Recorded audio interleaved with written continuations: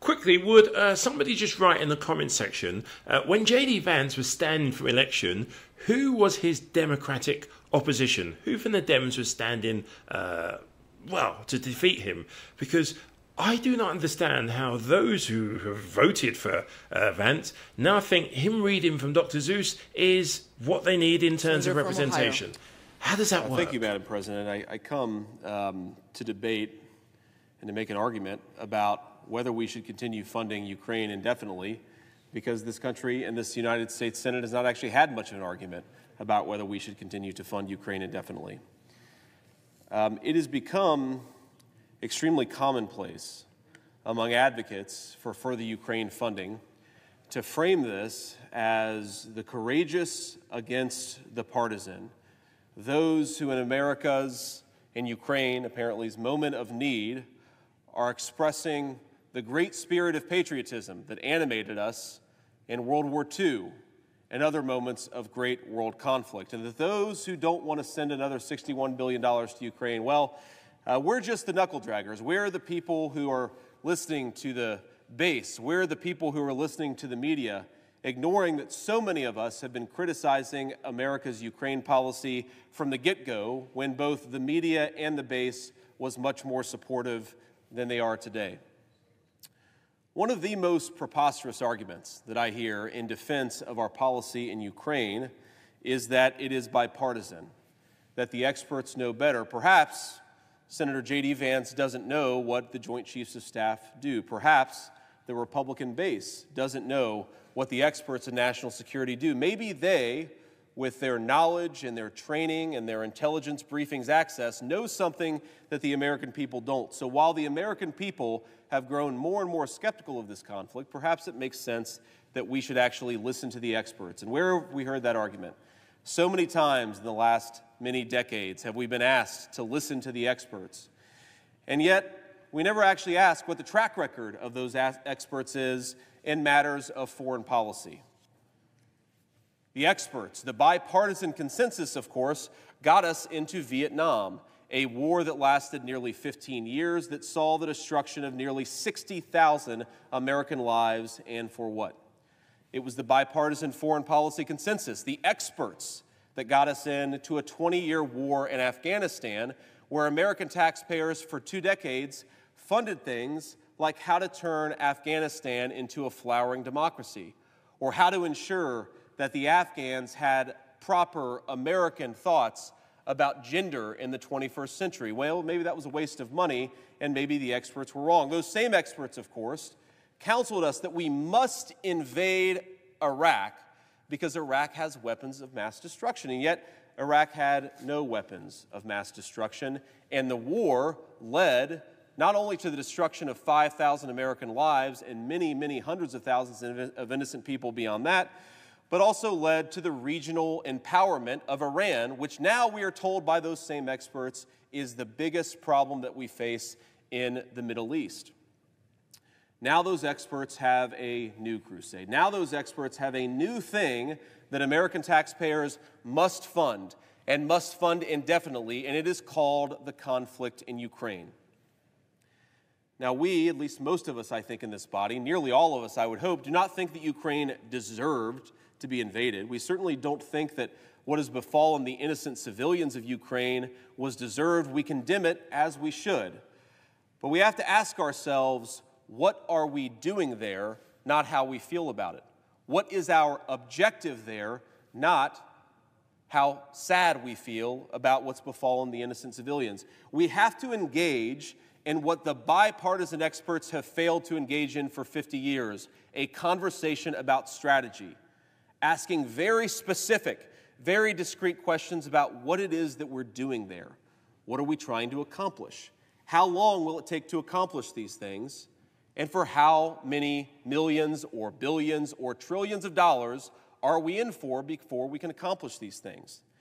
Now, I've heard any number of explanations from my colleagues who support our policy in Ukraine about what it is that we're trying to do. At the beginning of the war, especially, you hear this argument far less, but at the beginning of the war, especially, you would hear an argument that we had to throw Vladimir Putin back to the 1991 borders.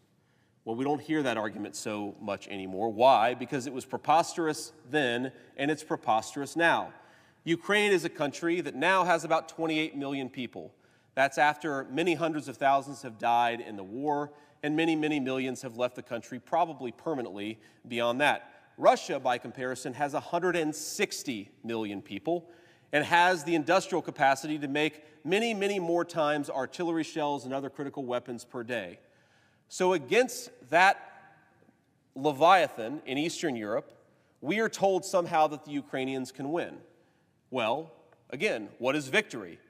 We know now that throwing Russia back to the 1991 borders is preposterous. No one, not even the inner circle of Zelensky's own cabinet, makes that argument. They did a few months ago, but they don't make that argument anymore. So, what is victory? And when you talk to people, both in public and in private, the actual thing that you can piece together that we're trying to do is to send enough weapons and send enough money to the Ukrainians until something good happens until maybe the Russians get sick of the conflict and they come to the negotiating table. That, that's one opportunity uh, to end this war that we're told is that if we just keep on going and we show our resolve, then Vladimir Putin will come to the negotiating table. And yet, if you listen to former German Chancellor Gerhard Schroeder, or you listen even to some of the ministers in Zelensky's government, or certainly if you listen to a number of other Western European allies, they will say that Russia was willing to come to the negotiating table at the beginning of 2022, after the war had stalemated from the Russian perspective and after the Ukrainians had shown some real bravery and some real resolve. Now, it's not just Vladimir Putin who says this, it's virtually everyone who has ever talked about this moment in the conflict, and they will say that British Prime Minister Boris Johnson, backed by any number of leaders within the American security apparatus, basically said, Tell Vladimir Putin to shove it. The Ukrainians are winning, the Russians are losing, so we'll just keep this war going for as long as it takes. So we had the opportunity to negotiate back in 2022, and if we had taken it, here's what would have happened. Many fewer hundreds of thousands of Ukrainians would have died. Uh, many fewer innocent civilians would have lost their lives, their homes, their livelihoods and a war in Eastern Europe that has put stresses on everything from food supply to energy prices would have concluded. So, we're trying to get Vladimir Putin to the negotiating table. We don't have a pathway for how to do it, by the way. We just think that's a good thing, and we're going to try to do it if we continue to throw money. But yet, that same negotiating table was on the offer about 18 months ago, and we told them to go shove it. Okay, so uh, negotiating table, that seems to not be a realistic end goal if we just continue to funnel money and resources. So, so what is the end goal here? It is astonishing that not a single person from Joe Biden on down can actually articulate what another $61 billion can do. They'll tell you what it won't do. They'll tell you what the absence of $61 billion will do. But how weird is it that they want to send $61 billion to America, uh, to America's ally, Ukraine, and they can't actually tell you what it's supposed to accomplish. What this will accomplish that the previous $120 billion didn't. So, first, we have a complete absence of strategy, a complete failure for the President of the United States to articulate what we're going to do. I try to imagine what it would have been a, as an American citizen if on December the 8th, 1941, Franklin Roosevelt stood before the country and said, The Japanese have attacked us it is a day that will live in infamy, and so we're going to send money for as long as it possibly takes with no articulation of what we're going to do, of what the battle plan is, of where we're fighting, of what we're going to have our manufacturing base try to accomplish. We're just going to send money and hope that eventually these guys come to the negotiating table. That is the equivalent of what we're doing at this moment in time with this particular conflict.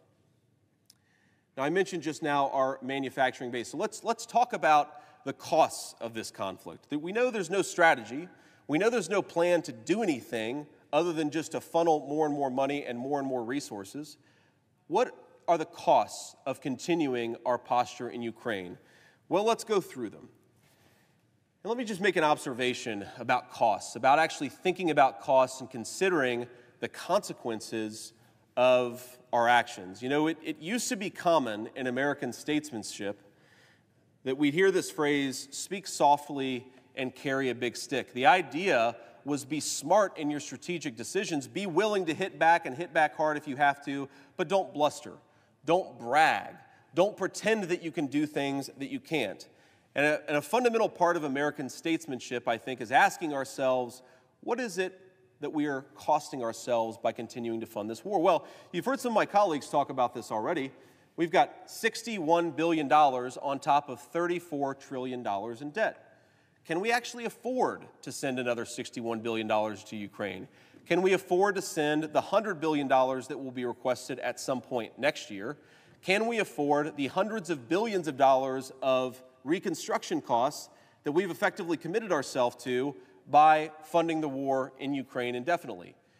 You already hear these people like vultures with a carcass talking about how much money they're going to make on the reconstruction of Ukraine. And I ask myself, why are we destroying the country in the first place, given that we know the war is at a stalemate and American diplomacy could plausibly bring it to a close? Now, here's another thing that this is costing us, something that doesn't get talked about nearly enough in this chamber, but I'm reminded of the only time that I have ever been in the White House with a sitting president of the United States. It was about a week before the inauguration of Donald Trump and Mike Pence. And so I was there with President Barack Obama.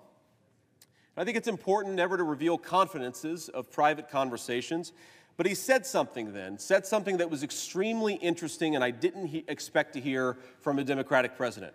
What he said is that the refugee crisis in Europe in 2015 would take down a number of liberal governments. Now, me as a conservative, I might not care about liberal, liberal governments going down, but I thought it was interesting that a theoretically pro immigration guy, a guy much more committed to the cause of open borders than almost any Republican I know, would say that when you have wide open borders and when you have uncontrolled migration, it destabilizes governments. Well, of course, the former president is exactly right.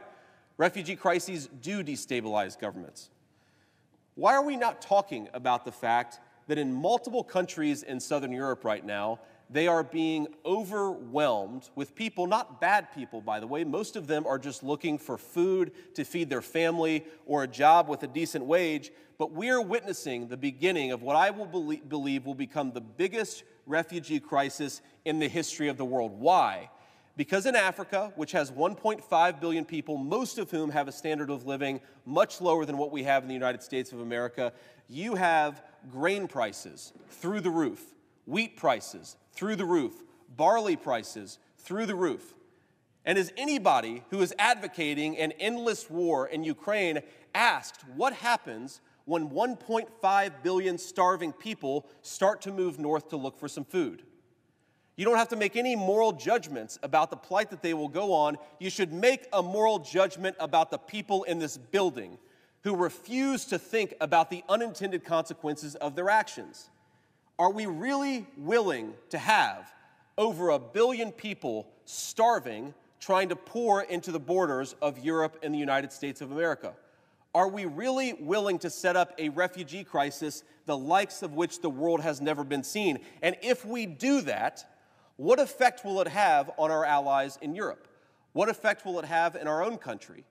What effect will it have for, number, uh, uh, for millions of American citizens who are already dealing with the consequences of an overwhelmed southern border? And I want to talk about that overwhelmed southern border in a second, but I want to keep talking about the unintended consequences of the war in Ukraine. Another unintended consequence is what do energy prices look like all over the world? We have no idea who blew up the Nord Stream 2 pipeline. We can have some guesses, but it isn't kind of weird and isn't it unusual for our European allies to have had their most important fuel artery destroyed and they seem totally uninterested in asking questions about it? We already know that governments like those in Poland, like those in Slovenia, like those in a number of other allied countries across Europe are under an extraordinary amount of stress because fuel prices are so high. The country of Hungary, which has 10 million people, took in nearly a million Ukrainian refugees, an important American ally by any standard, and yet they are facing skyrocketing energy prices because of the war between Russia and Ukraine. What effect does it have on the many millions of people who are living over there? What effect does, does it have on America's national security when we take down a number of allied governments because the people there can't afford food and can't afford energy. That is another unintended consequence. And why we're, while we're talking about the unintended consequence of energy prices in Europe, let's ask a very important question about why we're here.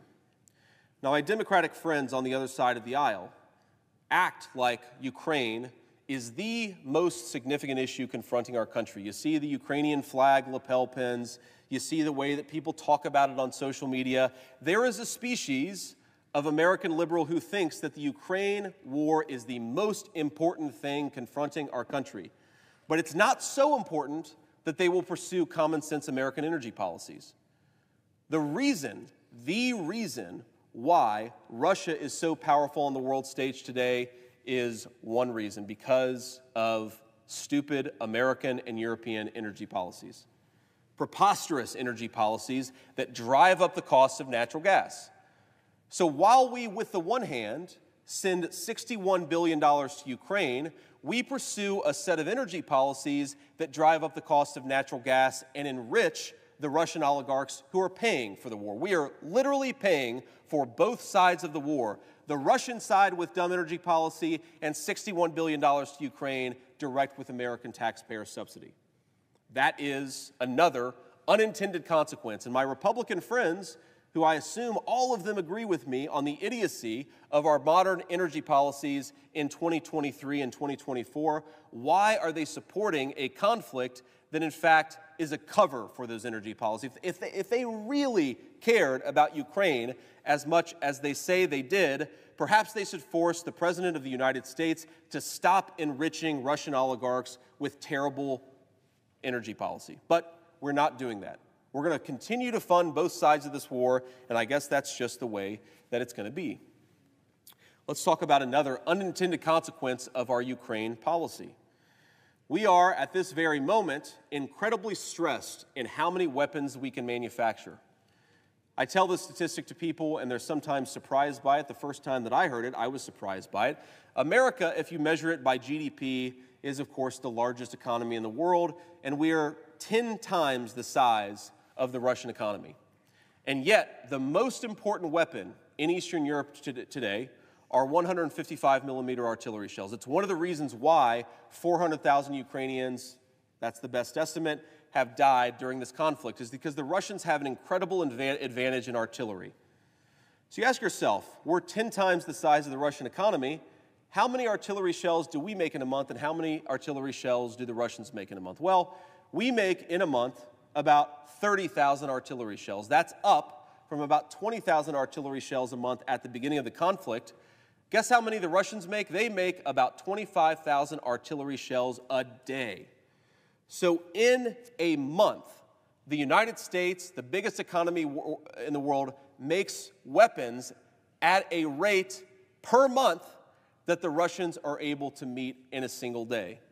Well, one thing that suggests to me is that GDP numbers are awfully fake. If you can't produce weapons to defend your own people, then you can't pretend that your economy is as strong as you might like to think. Unfortunately, for Wall Street, we cannot fight wars with dollars and derivatives. We need weapons, we need bullets, we need artillery shells, we need missiles, and America doesn't make nearly enough of those. Not for our own security, and certainly not enough to support both the Ukraine conflict and, God forbid, a conflict that might occur, occur in East Asia. So let's specify that a little bit more. We're right now depleting critical munitions, missiles, artillery shells, and bullets faster than we can replenish them, and then we send them to Ukraine. Well, I'm sorry, why does that make an ounce of sense for our own national security? Shouldn't we rebuild our own manufacturing capacity before we spend all of it on Ukraine? Shouldn't we make more of our own weapons and gain some self sufficiency in weapons manufacturing before we send all of those resources to Ukraine? The answer of the United States Senate is apparently not. So, on issue after issue after issue, Madam President, Senator from North Carolina. I'm inquiring to see if the gentleman from Ohio would yield to a question about this subject matter. Will the gentleman yield? I'm happy to yield, Madam President. Um, thank you, Senator Vance. Senator Vance, uh, this appropriations bill that's before us, uh, I just want to make sure that I've got my facts right. I believe that there's seven or $35 billion to restore U.S. military readiness and modernization. I also believe that, and, and please correct me if I'm wrong, um, that for every dollar we're sending you to Ukraine, we're appropriating about $2.50 to make sure that we backfill and cover there are a lot of bad and unintended consequences to this conflict. One of the good ones is learning before we have to defend ourselves that we are grievously out of step with manufacturing capacity. And it is my understanding that 35 billion, about half of the money that's being appropriated to Ukraine, is actually being appropriated back to the industrial base and uh, for Patriot missile manufacturing, a number of other vulnerabilities that we found we're trying to address it. Uh, is that, is that, do I have a correct understanding of that? Um, to my colleague from North Carolina, before I answer that question, Madam President, can I inquire to how much time I have? And uh, Madam President, I would also like to state that I have, unre- or I have time that I will, in response to my question, I will yield my time uh, for the purposes of you allowing uh, to have time beyond the answer to the question. The senator from Ohio has 40 minutes remaining. So, Madam President, I ask unanimous consent that the only time that, that the only time used by the senator from North Carolina be debited to his post-cloture time, and that to answer his question, we not have time deducted from my account. Is there objection? Without objection. Thank you, Madam President. Uh, so, to my, to my, colleague and friend uh, from North Carolina, I want.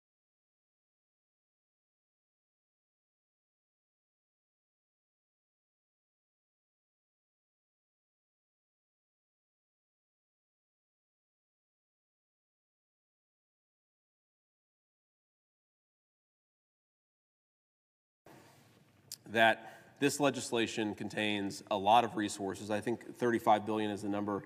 But we have to ask ourselves not just how much money is going to rebuild our industrial base, but combined with presidential drawdown authority, how much of that will then be just redirected to Ukraine?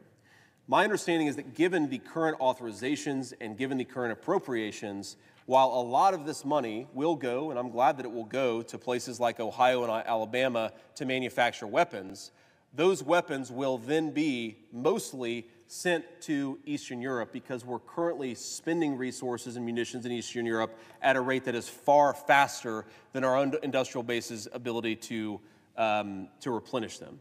So, what will happen in effect is that we will make the weapons, and literally faster than we can make them, they will then go out the door to Eastern Europe, unless, of course, in the next few months or the next couple of years, the conflict ends. So, the gentleman's question is well taken, but it actually doesn't address the core concern that we're depleting munitions much faster than we can replenish them. And I, I want to just, on, on one final point here, if, if, I may, and I'll be quick because I know that I'm on uh, borrowed time here. Um, the question of whether we should rebuild our industrial base is some, something my friend and I agree on, and I think most of my colleagues here in the United States agree on. The more difficult question is what do we do in the interim? It will take years to get our industrial base to the point, maybe three years, maybe five years, to get our industrial base to the point where it could support a war in Eastern Europe and a war in East Asia simultaneously. We don't debate the need to rebuild our industrial base. The question is, what do we do in the interim? And I think in the interim, continuing to support the Ukraine war indefinitely is a terrible, terrible mistake. Madam President, I, I, I suppose I could go back on my own clock. Uh, I ask, I don't know what I'm supposed to say here, but. The, the Senator will resume. Thank you, Madam President. I appreciate your charity, and I appreciate you having to sit up there and listen to me. Um, members of our gallery chose this, but uh, some of us did not, so I appreciate you and, and my staff. But um, let, me, let me keep on, on going here on how we got here. I've articulated to the best of my ability why I think we don't have a strategy here and why I think it's important for us to actually articulate a strategy, what it means for us to not have that strategy, and importantly, the unintended consequences of continued conflict in Eastern Europe, backstopped by the American taxpayer. But I want to talk about the politics of this. Not long ago, or I should say, excuse me, uh, not long after Russia invaded Ukraine, I made an observation that frustrated a lot of my friends who advocate for continual conflict in Ukraine. I said how can we support a war in Ukraine, defend Ukraine's borders, when we're not even defending our own American border under the presidency of Joe Biden? And the response that came back went something like this, and I'll paraphrase it as much as I can America can walk and chew gum at the same time. A great power should, in theory, be able to support uh, an ally in Eastern Europe while at the same time securing its own southern border. And I think the events of the last week have revealed just how preposterous that argument is. We clearly are not able to walk and chew gum at the same time. And in fact, if we were able to walk and chew gum at the same time, we would secure our border first, and we would have done it weeks or months ago, but certainly we would have done it this past week. Now, here's the basic political dynamic that unfolded, and I know my colleague from Kentucky has discussed this, so have others. The basic political dynamic that unfolded is the Republicans in the Senate said, We want border security. That is the issue around which Republicans are unified. We want border security. And of course, the Democrats are in charge. Uh, the, the Democratic leader is the majority leader of the Senate. We have a Democratic president. So, what do the Democrats want? What unites the Democrats that doesn't unite us? And the answer came back Ukraine. The Democrats want to send $61 billion to Ukraine. The Republicans want to secure the border. And there was the root of a potential compromise. In divided government, sometimes you have to make compromises. Nobody's happy, but there was a potential compromise that could be made. And here's what the argument, here's how the argument went. If we're going to send $61 billion to Ukraine, we should do it first in tiers we shouldn't send it all at once. We should stagger it out a little bit. And the reason we should do that is to ensure that Joe Biden actually keeps his promise and enforces the American southern border. In other words, we tell the president that you don't get another dime of American taxpayer money for Ukraine unless you bring illegal border crossings at the level they were during the presidency of Donald Trump. That, to me, was the negotiation as it was set up by the Republican conference. That was the understanding that me and so many of my colleagues in the Republican conference had. And of course, that negotiation could go many places. It could go a place that might make Democrats uncomfortable. It could go a place that might make some of my Republican friends uncomfortable. In, in theory, to get a deal, it would sort of get everybody a little uncomfortable, but you'd be able to get 60 senators to pass it and send it on to the House. Well, that's not what happened. What was produced instead was a secret negotiation where Republican senators, by and large, had very, very little input in the process, and where we had no idea what was actually in the final package. We heard it through rumor and through conversations with friends, but immigration law is complicated. What a colleague, even a well meaning colleague, tells you exists in a, in a, piece of immigration law doesn't matter nearly as much as the text of the actual immigration law. So that text finally dropped on Sunday of last week. I believe February 4th, that legislation dropped. A 370 page piece of legislation that would commit many, many billions of dollars to Ukraine, a few billion dollars to East Asia, a few billion dollars to Israel, and a few billion dollars combined with this is the worst. Let's just walk through a few of those. Number one, parole. The last Democratic president, Barack Obama, paroled approximately 5,000 illegal aliens per year. That's 5,000 per year. Joe Biden, in three years, has paroled between 600,000 and close to a million illegal aliens per year. That is not a typo or, or an overstatement. So Joe Biden radically increased parole authority, and that doesn't just have the direct effect of making nearly a million illegal aliens legal. It also has a secondary effect because if you are in Central America or you're anywhere in the world and you would like to come to America and not go through the proper channels, now, all of a sudden, the clarion call has gone out. Joe Biden has thrown open the southern border, and if you come across illegally, he will parole you close to a million times per year when the last Democrat did it 5,000 times per year. That is the first effect of Joe Biden's parole, and our great border compromise did nothing to limit Joe Biden's parole authority. Number two, another problem with our border law is that it has been manipulated so that we turn so called illegal aliens into so called asylum seekers. Here's how it works we, of course, want to be a country that's welcoming to those who are fearing persecution. So if you come into this country as an economic migrant and you come illegally, you come having not followed the laws of this country, you can claim asylum. And if your asylum claim is granted, you immediately receive amnesty and you are on the track to becoming a citizen of this country, even though you never followed the law to get into the country in the first place. The other effect of our jacked up, excuse me, the other effect of our problematic asylum laws is that even if the asylum claim is not granted, you can be released into the country for a period of years, sometimes even decades, before an immigration judge hears your claim. So let's say you're an economic migrant. You show up at the American southern border. You say that I am a, an asylum claimant fearing persecution, and a, a, an administrative official from Customs and Border Patrol says, Well, we have to adjudicate your asylum claim. You can't do that right now. So, what we'll do is ask an immigration judge to hear that claim in 12 years. You're free to hang out in America for the next 12 years.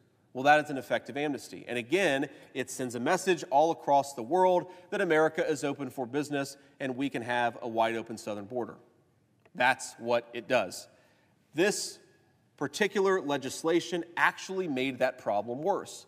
Now, on the one hand, it tried to increase the standard for granting asylum from a credible fear standard to a reasonable fear standard, but importantly, it changed the people who were enforcing that standard from immigration judges to CIS officers at the United States Custom and Immigration Services.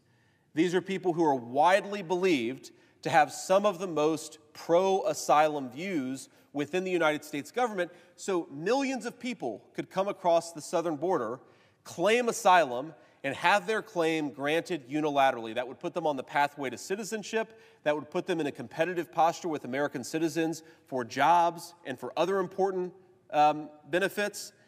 And yet, this legislation trying to fix the border actually made the asylum process worse.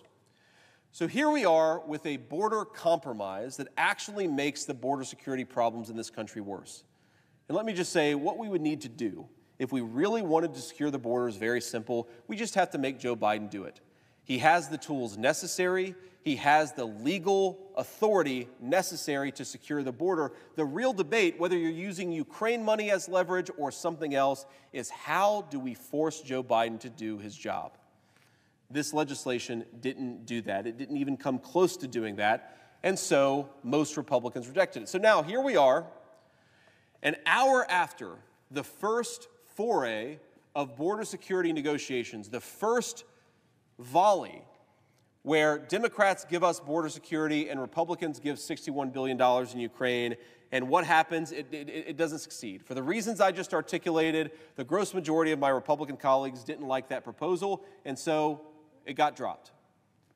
And what you might expect happen in a good faith negotiation that was actually about the border, if we were actually trying to secure the border, you might have said, this is not the Democrats' best offer. Let's go back to the negotiating table. Let's continue to push for border security because that is the most pressing crisis that we face as a country. And what happened instead is after an hour, Senate Democrats and even some in Republican leadership decided that we should move on from border security. They had checked the box. Now let's move on to their real priority, which is sending another $61 billion to Ukraine. It stinks to high heaven, ladies and gentlemen.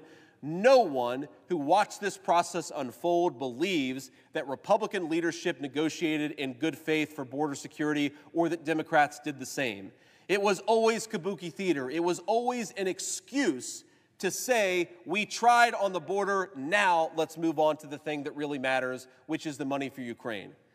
And that failure, the way that it blew up in the faces of our leadership and the appearance, gave lie to the idea that this was ever really about border security. And by the way, it alienated millions of Republican and independent voters who want their government to focus on the most pressing problem for this country, and that is the border. When I go back home to Ohio and I talk to audiences about their views on Ukraine, most people agree with me, but some people disagree with me. But if you go to an audience in the state of Ohio, a state that is affected tragically by the fentanyl problem, where you will drive on highways and see billboards for sex trafficking victims to call the hotline because they're being sex trafficked in the state of Ohio by Mexican drug cartels who have been given free reign at the southern border. If you talk to people and ask them what are the most pressing problems the country faces, none of them will say Ukraine. Even those who would like to send more money to Ukraine, none of them will say Ukraine. So, what are we doing? Why did we give up so easily? Why did Republicans stab their voters in the back? Why did we not fight for border security? Ladies and gentlemen, that's exactly what we promised we would do. Many of us did, by the way. Even some of my colleagues who disagree with me on the Ukraine question, they at least had the courage to stand and fight for border security, but unfortunately, too, far too many Republicans refused. And so we are, we are where we are. Now, let me just make, um, let me just make an argument about where we are on this particular border situation. We have millions of people coming into the country illegally every single year. We have hundreds of thousands dying just in the first three years of Joe Biden's term of fentanyl overdoses. We have a president who has invited the opening of the American southern border, and now we are living with the consequences. The American people know that this was the direct result of Joe Biden's policies, and they know that he could stop it. So let's debate real border security, border security that actually forces the president to do exactly that. There are a number of options on the table. You will sometimes hear some of my Democratic colleagues and even some in Republican leadership say, we can't have a bill because Donald Trump doesn't want us to have a bill. That if we advance common sense border security, Donald Trump would destroy it. That is the furthest thing from the truth. In fact, just last week, Donald Trump proposed a border security bill that would force Joe Biden to secure the southern border. You may agree or disagree with the policy, but the idea that there is no policy that would get Republican buy in, including at the top of the Republican ticket, is preposterous. It's something that does not exist in reality. Madam President, what's, how much time do I have left? The senator has 25 minutes remaining. Great. So, I've given my spiel here, and I want to get a little bit into the details of what we're trying to accomplish here and how we might try to accomplish it. Let's first start with a conversation about the American southern border. I want to read a piece from the Washington Post, an argument that I, I want to read and then I want to respond to. Having failed to convince the American people that a blank check to U- Ukraine President Volodymyr Zelensky is in their interest, the Ukraine First Caucus now claims the aid primarily benefits American workers. Marc A. Thiessen, who drafted an op ed to this point, exemplified the pivot. This is disingenuous and dangerous, and this is partially in response to some of the arguments that I've heard earlier. We cannot rebuild our industrial base by building capacity and sending all of it to Ukraine. It doesn't make sense.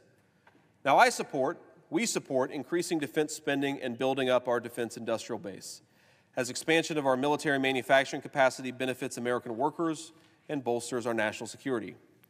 Washington is more focused on sending our limited military stockpiles to a conflict in Ukraine with no clear path to victory. The Biden administration's new message fails to account for grave shortages in our stockpiles. Thanks to nearly two years of mission in Ukraine, the United States is perilously unready for any additional contingency. Anything with solid rocket motors is in short supply. Solid rocket motors are the rocket motors that power so many of the critical missile systems that we need. And whether it's javelins or stingers or Patriot missiles, we are critically in short supply of not just the missiles themselves, but of some of the components that are necessary for building those missiles, including the SM 6s that would be needed in the Pacific. The high demand for Stingers, Javelins, and Patriot interceptors in Ukraine means we are desperately short of the weapons that would be needed in Taiwan. Replenishing them is going to take years. And I'm going to pause here to make an observation. One of the arguments my friends make in defense of $61 billion to Ukraine is that we need to send a message to Vladimir Putin that if we give up and walk away from the Ukrainian battlefield, even though the leader of Ukraine's own military until recently said they had no chance of victory on that battlefield.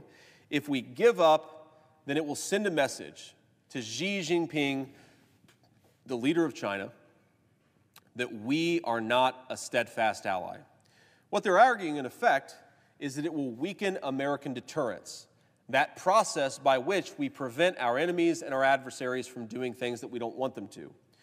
Well, in classical foreign policy circles, deterrence is the combination of, on the one hand, um, resolve, and on the other hand, capacity.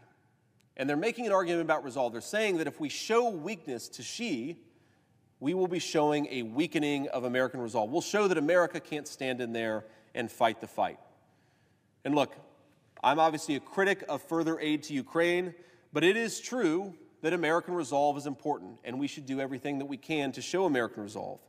But you know what's more important than American resolve? You know what's more important than thumping our chest like eighth graders on a playground and saying, We're tough, we're strong, we can do it? What's much stronger than that is to actually have the capacity to defend ourselves and our allies. And that is what is so weak. Xi Jinping does not care how tough America acts, he cares how strong America is.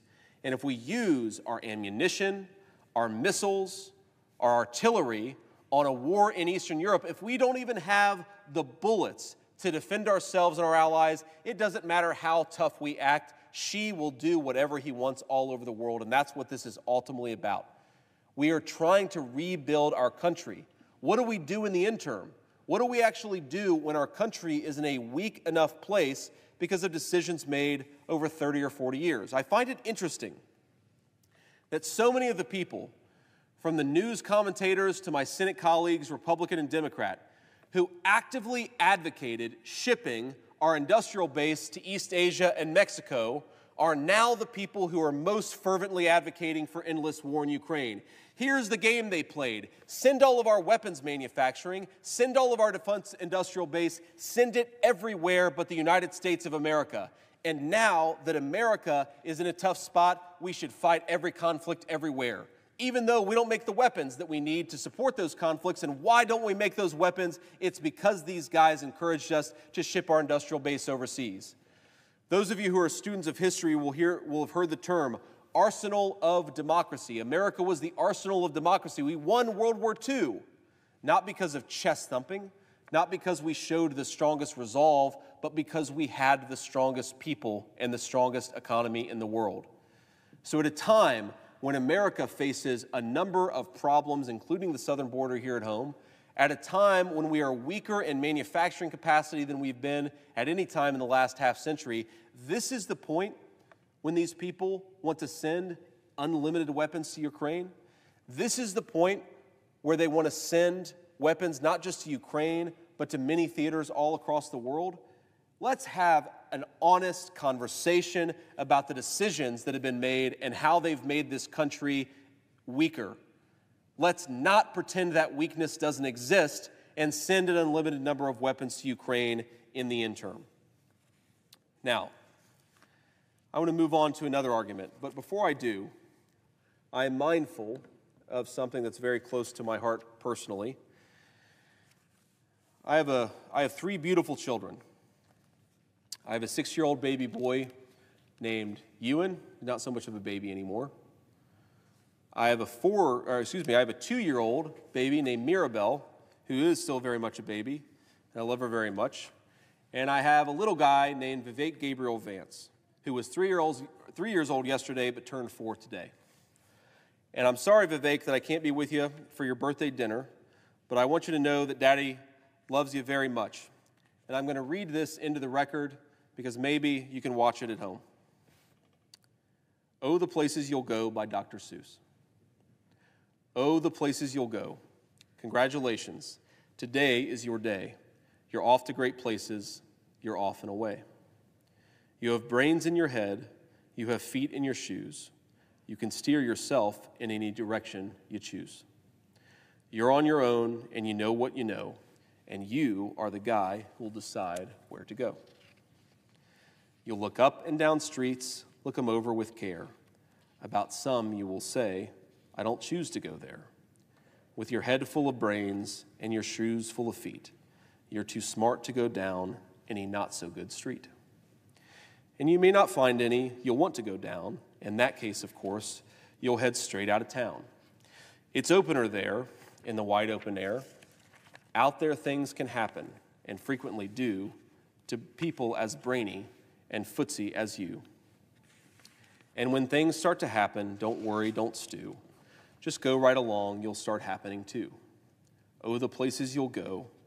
You'll be on your way up, you'll be seeing great sights, you'll join the high flyers who soar to great heights. You won't lag behind because you'll have the speed. You'll pass the whole gang, and you'll soon take the lead. Wherever you fly, you'll be the best of the best. Wherever you go, you'll top all the rest. Except when you don't, because sometimes you won't. I'm sorry to say, but sadly it's true that bang ups and hang ups can happen to you.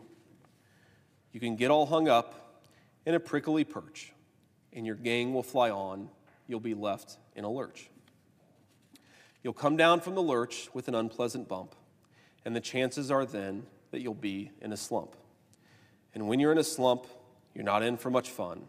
Unslumping yourself is not easily done. You'll come to a place where the streets are not marked. Some windows are lightened, but mostly they are dark. A place you could sprain both your elbow and your chin do you dare to stay out? Do you dare to go in? How much can you lose? How much can you win? And if you go in, should you turn left or right? Or right and three quarters, or maybe not quite? Or go around back and sneak in from behind? Simple it's not, I'm afraid you will find. For a mind maker upper to make up his mind, you can get so confused that you'll start into race down long wiggled rocks at a breaknecking pace and grind on for miles across weirdish wild space, headed, I fear, toward a most useless place the waiting place. For people just waiting, waiting for a train to go, or a bus to come, or a plane to go, or the mail to come, or the rain to go, or the phone to ring, or the snow to snow, or waiting around for a yes or no, or waiting for their hair to grow, or waiting for a vote Everyone is just waiting. Waiting for the fish to bite, or waiting for the wind to fly a kite, or waiting around for Friday night, or waiting perhaps for their Uncle Jake, or a pot to boil, or a better break, or a string of pearls, or a pair of pants, or a wig with curls, or another chance. Everyone is just waiting. No, that's not for you. Somehow you'll escape. All that waiting and staying, you'll find the bright places where the boom bands are playing. With banner flip flapping, once more you'll ride high, ready for anything under the sky. Ready because you're that kind of a guy. Oh, the places you'll go, there is fun to be done. There are points to be scored, there are games to be won. And the magical things you can do with that ball will make you the winningest winner of all.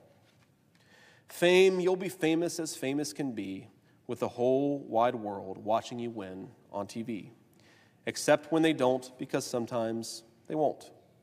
I'm afraid that sometimes you'll play lonely games too, games you can't win because you'll play against you.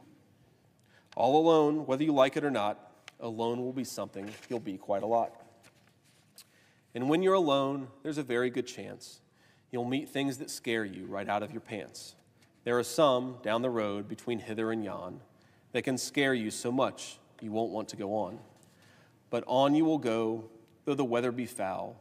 On you will go, though your enemies prowl. On you will go, though the Hakken-Kraks howl. Onward up many a frightening creek, though your arms may get sore and your sneakers may leak. On and on you will hike, and I know you'll hike far and face up to your problems, whatever they are. You'll get mixed up, of course, as you already know. You'll get mixed up with many strange birds as you go.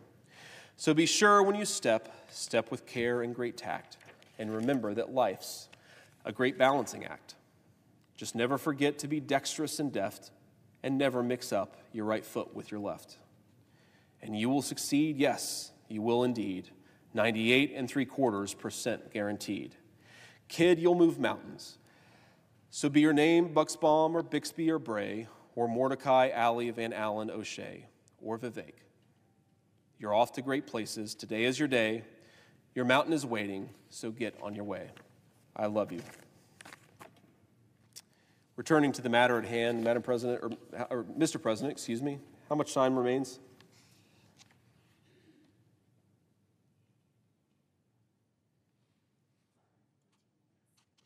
Minutes. Thank you, Mr. President. I want to read this piece, which articulates my argument for peace very well, written in Responsible Statecraft, published on July 5th of 2023. We're now, think about it, nearly a year since this piece was published, and its arguments are, if anything, more pressing today than they were last summer. Quote, last year, referring to the possibility of escalation that the Russo-Ukrainian war entails, President Joe Biden announced that America and the world are closer to a destructive nuclear war than ever since the Cuban Missile Crisis in 1962.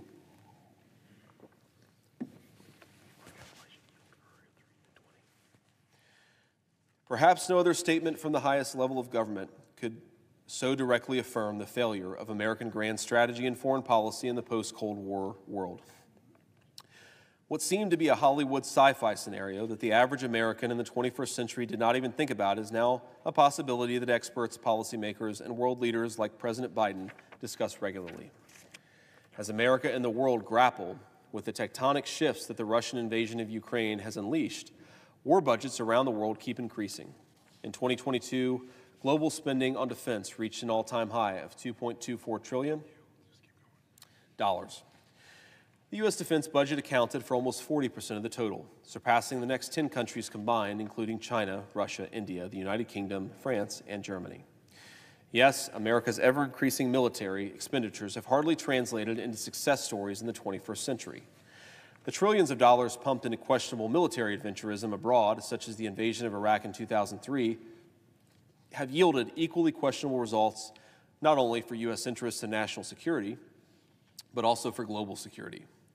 America's over reliance on the military to achieve policy objectives and the unilateral actions pursued without an international mandate have backfired in the form of a growing coalition of dissatisfied states that refuse to accept a world order that they see as unjust and hierarchical. In April of 1953, President Dwight D. Eisenhower delivered the famous Chance for Peace speech, in which he compared the enthusiasm for a just and peaceful world after World War II to the unstable, hostile, and unpredictable environment of the Cold War. The eight years that have passed have seen that hope waver, grow dim, and almost die. And the shadow of fear again has darkly lengthened across the world, he said, before laying out his vision of a just and peaceful order and warning against the unbalanced political influence of military interests. Today, 70 years later, the world faces the same shadow of fear as the unpredictable war unleashed by a revisionist Russia shakes the international system. Biden's promised end of America's forever wars, that was supposed to bring stability and predictability back to the realm of international affairs, while also allowing the United States to reorient its resources towards a much needed domestic revival, did not materialize.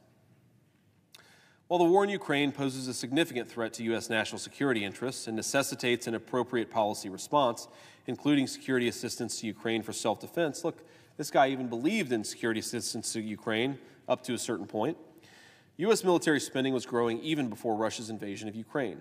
This pattern should raise questions about whether the United States should have increased spending on the military in response to the crisis in Ukraine. The war has also turned into a talking point for those whose direct interests tied to military spending overshadow the actual interests of the American people. Many are now pushing for the concept of a long standoff with foreign rivals, without accounting for the real costs and implications that will be borne by ordinary citizens both in America and abroad. In foreign affairs, discourse and reality are sometimes interwoven in complicated and nuanced ways. Conflict can arise as much from actual strategic disagreements, security considerations, and national interests as from discourse and perceptions. In this context, embracing conflict and promoting discourse that emphasizes a long term confrontation is a dangerous path for America to follow. The very cause of World War I has been attributed to the perceptions of threats and the interpretation of actions by states as hostile, leading some scholars to argue that European leaders sleepwalked into a conflict they neither desired nor expected to win easily. The question for Americans today especially the new generation that will be inheriting a more unstable and dangerous world, is whether they will allow America to sleepwalk into a conflict that the United States neither needs nor can afford to win. Traditionally, American voters do not attach much importance to foreign and defense policy issues. Yet the citizens of a country that will be spending a record 842 billion on the military cannot afford to close their eyes on such critical policy issues that in fact profoundly affect their livelihoods. The question is not whether America should abandon its legitimate security needs and interests, nor neglect the foreign threats that necessitate spending on the military. We must understand how much of the current spending is actually justified. We also need to assess the efficiency of the military to protect the American people and interests abroad without overextending resources wastefully and prompting a dangerous arms race that will paralyze growth, development, and more importantly, the long term prospect for peace and a new, more just world order. This is why young Americans should be especially concerned with the unchecked influence of special interests that seek to inflate threats, install the inevitability of long term confrontation in the world, and justify ever increasing spending on the military. The new generation will be the primary bearer of such burdens, costs, and consequences that decisions taken in Washington today will have. Ultimately, it boils down to a simple question of the kind of vision young Americans have for their country and the world. The question is especially critical given America's own undeniable internal strife. Those seeking to downplay the legitimate critique of the over reliance on military forget or deliberately neglect that foreign policy is ultimately dependent on domestic policy. Both experts and the general public now agree that the once hailed American democracy is threatened. The inflection point for America is serious. The country is facing a crisis of identity, social cohesion, a growing discontent with the economic model that has marginalized an ever growing segment of the population, and what is more concerning, a waning belief and trust in the country's most foundational institutions. Those championing a new age of unnecessarily militaristic and confrontational foreign policy that relies on growing and unbalanced defense budgets should rethink the use of those resources. A stroll in the streets of Portland or in the infamous Skid Row in Los Angeles could be beneficial to reevaluate priorities and distributions of limited resources to deal with the most pressing issues America faces. Ultimately, the strength and attractiveness of the United States on the global stage and America's competitiveness vis a vis its rivals depends on the domestic revival of a country that has been decaying silently for decades in virtually all key aspects. This is why a new generation of Americans must step in to seize the new chance for peace before it is too late. As the world order continues to fracture, only a wave of democratization of the most undemocratic sphere of policymaking in Washington can trigger the kind of reassessment and accountability the American people should expect from their elected leaders. Unless we take steps now to usher in an overdue reckoning in Washington, we may miss, as President Eisenhower said, a precious chance to turn back the tide of events. That was by Martin Makarian, and that again is from Responsible Statecraft, an important argument and an important piece. Let me address just a couple of points brought to mind by that piece and by that argument. You'll hear, especially in the last couple of days, after former President Donald Trump criticized NATO, you will hear a strong argument about what NATO means to the United States of America. And I think it's important for us and for our citizens to be honest, not just about the problems inherent with NATO and the lack of burden sharing but also the problems that exist in NATO's own countries, countries that most of us love, that most, most of us see as important allies, but have deep, deep pathologies and problems that must be addressed. Something that, that is often said is that in this particular conflict, Ukraine versus Russia, NATO is actually carrying its fair share of the burden. You will see charts that make an argument that NATO, which has the economy approximately the size of the United States of America, is spending actually more resources on Ukraine than the United States of America. Now, that argument has a few critical flaws. Let's walk through them. First of all, NATO is providing a, a, large amount of humanitarian assistance, and of course, they're absorbing a large amount of refugees. They're doing it because Ukraine is in their backyard. But the critical weapons and munitions that are being provided are overwhelmingly the responsibility of the United States of America. NATO is not carrying its fair share of the burden when it comes to weapons, and that's the most important things the Ukrainians need to win. Second, even if we assumed, and it's wrong, but even if we assumed that NATO was carrying its fair share of the burden over the last 18 months, NATO has failed to carry its fair share of the burden for literally decades, ladies and gentlemen. Look just at how much money the United States has spent on defense since 1992 and compare that to our NATO allies. Ladies and gentlemen, we have been subsidizing European security to the tune of trillions of dollars. And it might feel nice when we go to Munich and the Europeans thank us, and it might be great to get a pat on the back from a European head of state, but the American people demand that NATO carry its fair share of the burden. Germany is the largest economy in Europe. They have promised for decades, and especially over the last years, that they would meet the NATO threshold of 2% of GDP spent on defense. They are still not there. Italy, a massive economy, still underspends on defense. In fact, most of the economies of Europe, outside of the UK and France and some economies in Eastern Europe, most of the economies of Europe massively underspend on defense, and that has invited aggression, not just from Vladimir Putin, but from other places as well.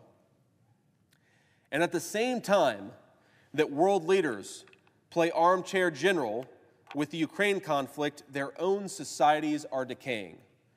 Not a single country, not a single country, even the United States within the NATO alliance, has birth rates at replacement level.